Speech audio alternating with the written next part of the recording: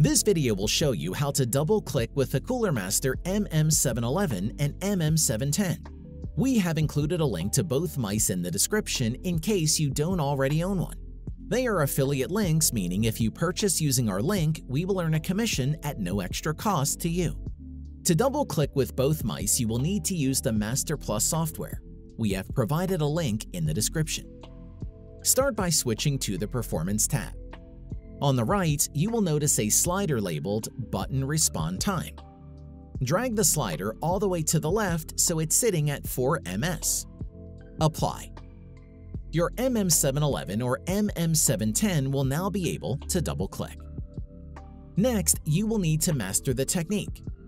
The preferred method to double-click with the Cooler Master MM711 and MM710 is to have your fingertip hanging off the front of the mouse. With this method, you will be clicking with roughly the top joint in your finger just above where the crease is. We will have a diagram on screen as an example.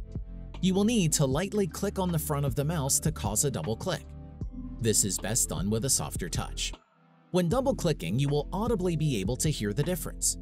The sound of the click will rattle, causing the mouse click to actuate multiple times.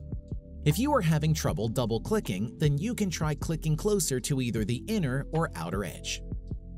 Once mastered, you will be able to double-click with both the MM711 and MM710.